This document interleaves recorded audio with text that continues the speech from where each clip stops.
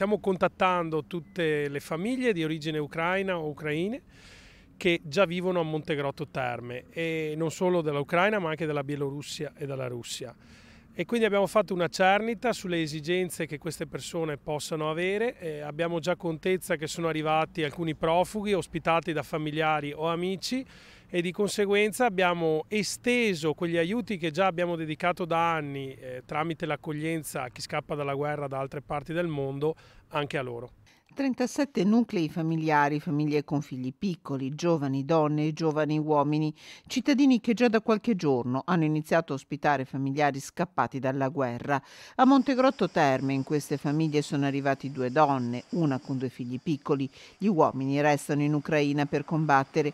I prossimi attesi sono anziani. Stanno arrivando anche degli anziani eh, che spesso trovano delle difficoltà alle frontiere dove aspettano anche 70, più di 70 ore per riuscire a passare e venire in Unione Europea. Si attendono disposizioni da Prefettura e Governo a Montegrotto Terme, uno dei quattro comuni della provincia di Padova del progetto SAI, ex SPRAR, che già accoglie rifugiati afghani, pakistani e dell'Africa subsahariana.